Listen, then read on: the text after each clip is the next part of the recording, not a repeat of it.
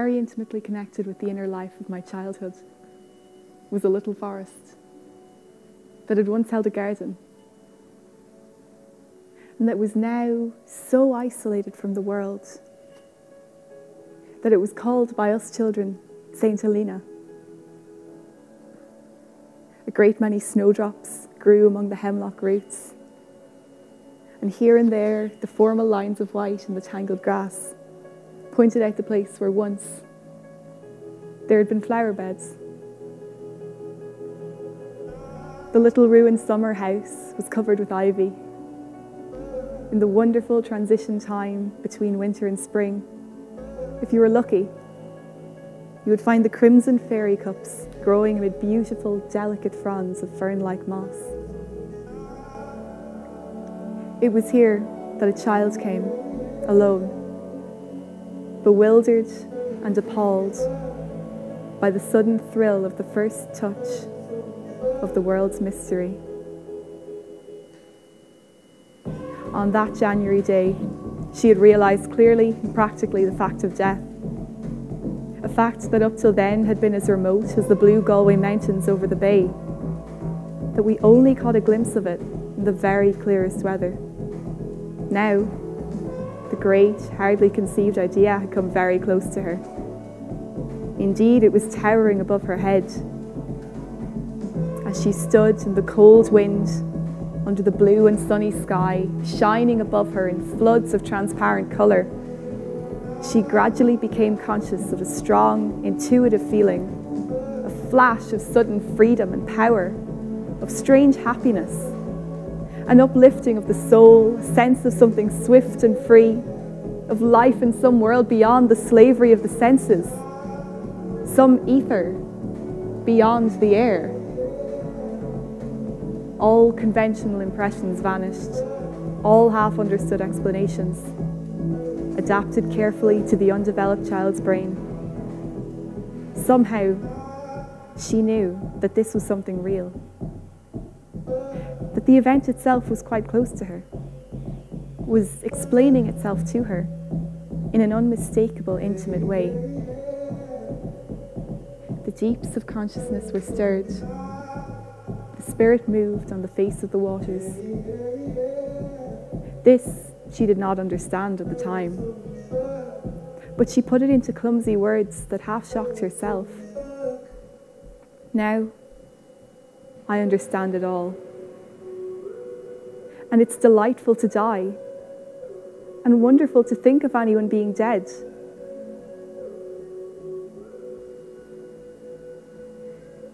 She was conscious of a vast comradeship, of unseen hands held out to her, of kindness, of power, of happiness everywhere.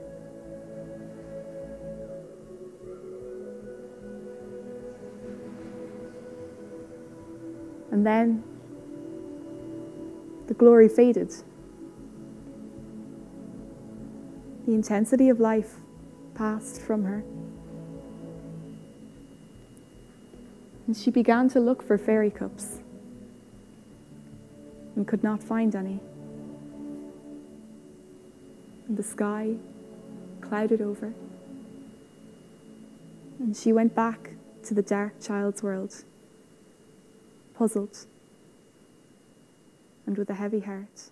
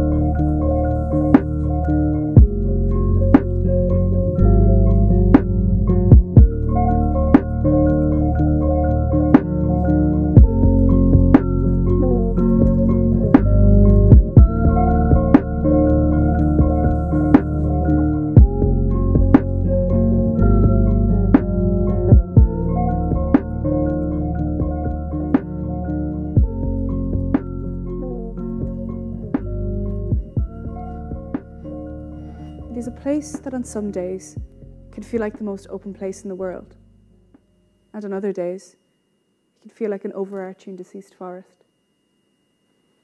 I often come here when I'm feeling lost and depending on the day or depending on something that I haven't quite figured out yet.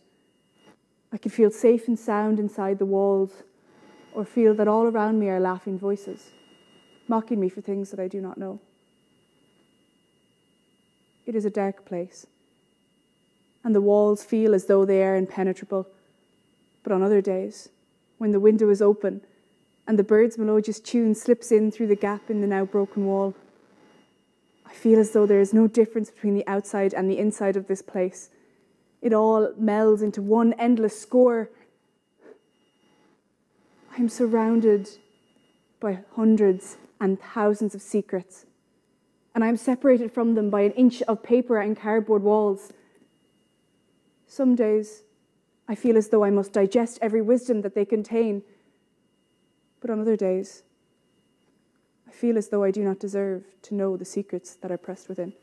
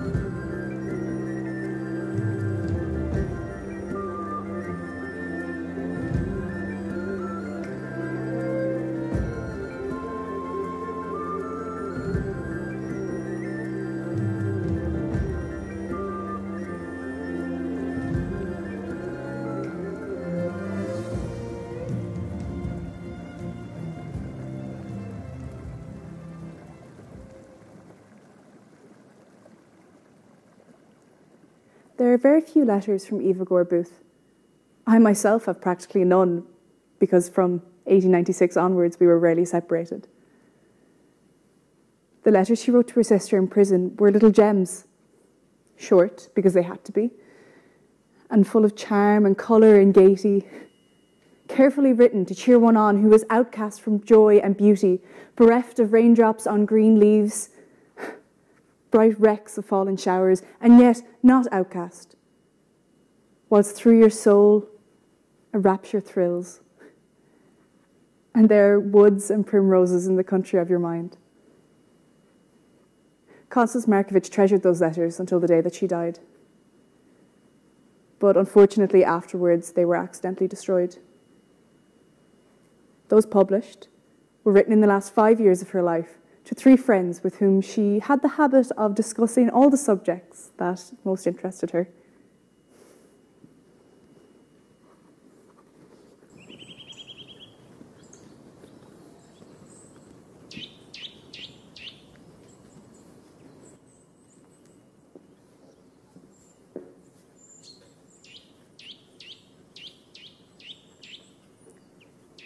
You'll see from that we have landed in a little villa.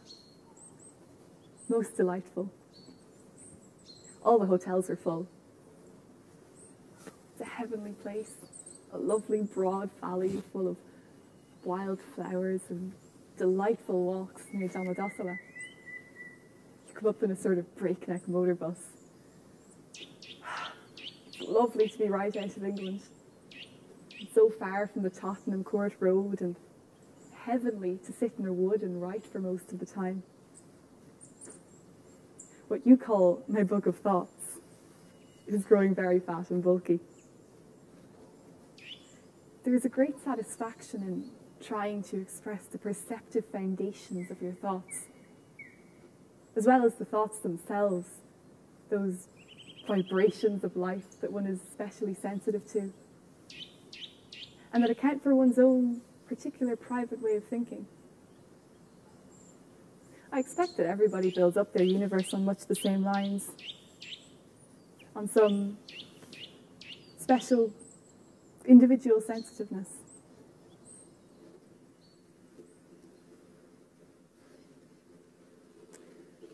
Do you understand the Einstein theory? I don't, but I am interested in it. To me they're on the verge of finding out that we can know nothing really by material means. Because every material thing we know of, including ourselves, is in a violent whirlpool of motion at different rates of velocity. And what a thing is when it is still, or even if it can exist in that state, what scientist knows? The Buddhist Wheel of Life was a good description of that time and space, which even the scientists are beginning to realize as different aspects of the same thing. The only things we can really know are the same yesterday, today, and forever. And they're somehow outside the psychic and physical vortex.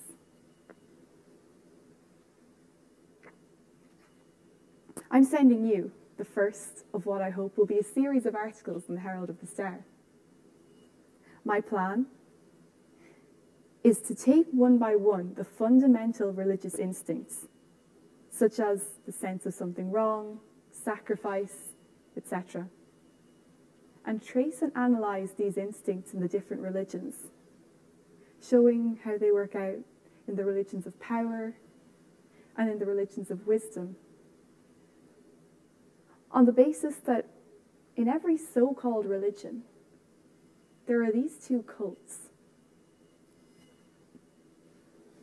And the true division is not Christianity, Buddhism, Mohammedanism, but those who follow the path of love and prayer in each, and those who put their faith in organization and goodness in churches.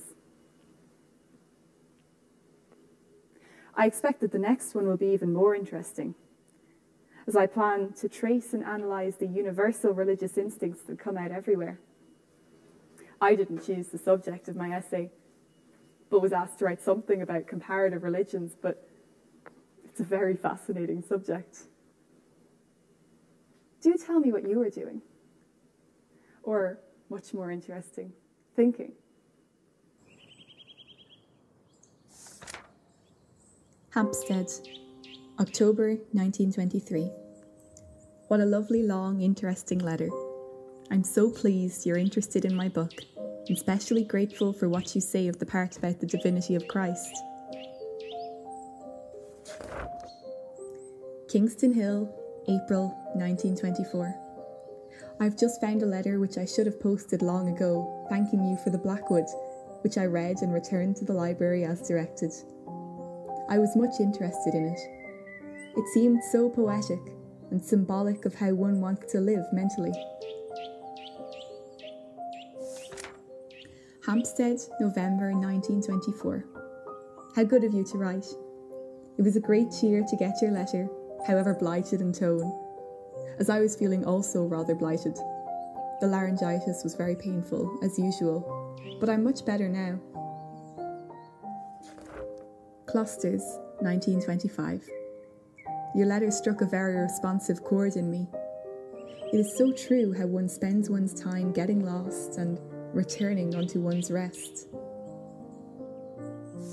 Hampstead, 20th of June 1925. So glad to get your letter. I do hope you are better. I'm afraid it's a long, weary business.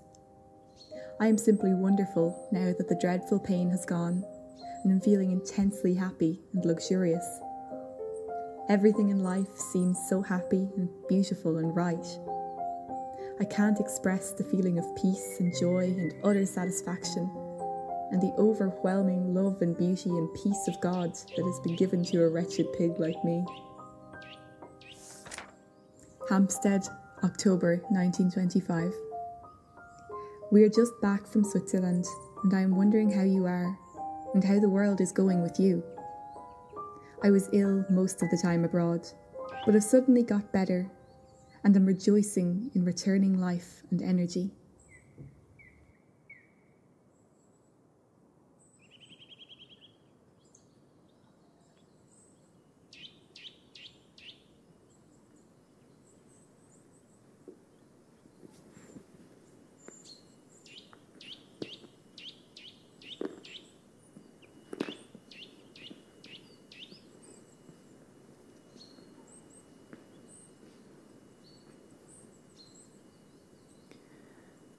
She had been lying in the garden all afternoon, feeling very ill, but not complaining at all, and planning to go away to see an invalid friend for a few days. We left her alone a short while, and she suddenly appeared in the sitting room where an Italian friend was singing. He turned around upon seeing her and said, Eva looks as though she's been in paradise. E piena de gioia, a un'aria mistica. Afterwards, she explained to me that she had been feeling very wretched that afternoon. You know, I have always been afraid of death, and I could not get away from the fear of it. Then, she went on, quite suddenly, as the answer to prayer so often comes, I heard, I will come to you. Slowly and clearly, like that. I was almost stunned by the suddenness. And in my amazement and wonder, I, I could hardly believe it for a moment. Then I heard, I have promised. Remember. Very distinctly. She felt certain that this was the voice of Christ. It was absolutely remarkable. There was a radiance all around, and and I was filled with an extraordinary feeling of joy, the greatest I've ever known. Remember, she repeated twice, very empathetically to me. I will never be afraid of death again. Death came very suddenly, after two days of illness, on the 30th of June 1926. She was feeling terrible that last evening, suffering terribly. And suddenly she said to me, This is death.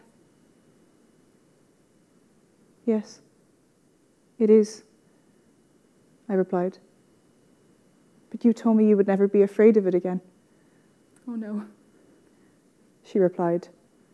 I am not afraid. Pray that it comes quickly. At the end, she smiled that exquisite smile that lighted up her face whenever she saw one that she loved. She closed her eyes and was at peace. The storm has cleared the air. The sea holds the sun and the blue sky. Suddenly, everywhere, shining. All things are one. Is it like this when you die?